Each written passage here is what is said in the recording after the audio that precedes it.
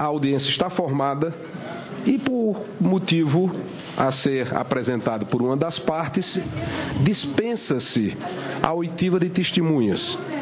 É importante que não apenas esta comissão, senhor presidente, Vossa Excelência em particular, que tem a imensa responsabilidade de conduzir estes trabalhos, percebam o que vem acontecendo com o país.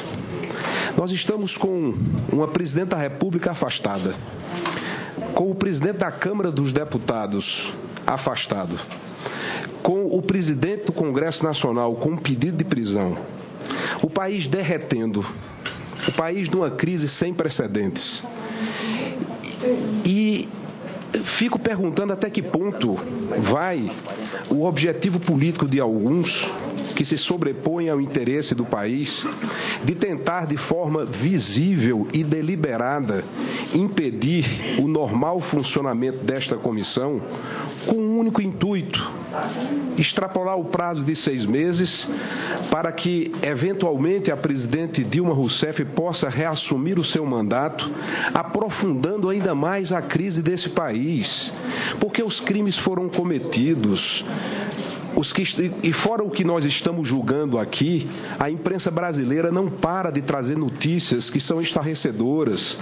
Na semana passada, delatores apresentando provas de 4 milhões e meio de dólares depositados em conta no exterior, em benefício direto à Sua Excelência presidente Dilma Rousseff, afastada do seu mandato.